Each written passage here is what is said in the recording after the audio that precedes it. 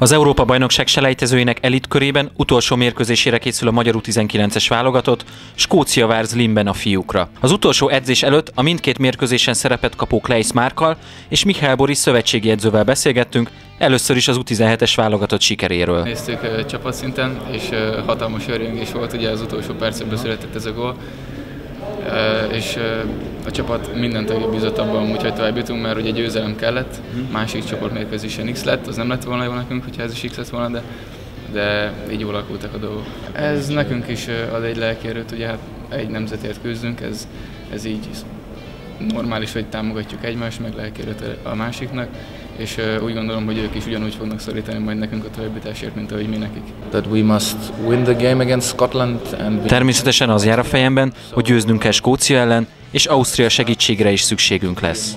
A csapat is erre fókuszál, nagyon koncentráltan készül mindenki az utolsó edzésem. I think they start to be focused. Some tactical parts, of course. A tréningnek lesz némi taktikai része, rögzített szituációk, illetve gyakoroljuk például a lövéseket is, ami növeli az önbizalmat, és persze egy kicsit készülünk fejben is. És mi kell az, hogy holnap is legyen vörös a Lisznyába? Hát ez mindenféleképpen jó lenne, hogyha lenne.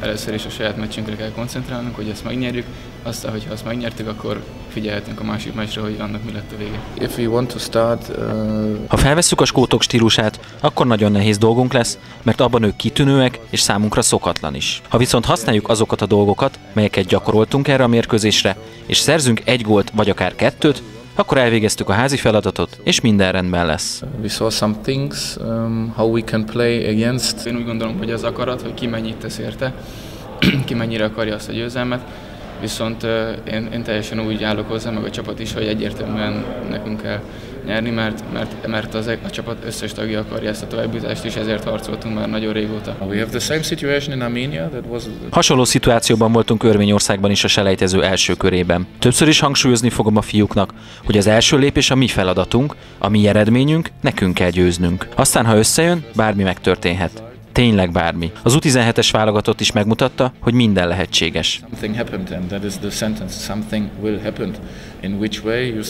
Ha Ausztria 93. percben rúg egy gólt, és mi is egy nóra nyerünk, akkor minden rendben van, viszont ha 0-0-át játszunk, akkor már a másik meccs sem tud rajtunk segíteni. 1-0, everything is good, but if we play 0-0, uh,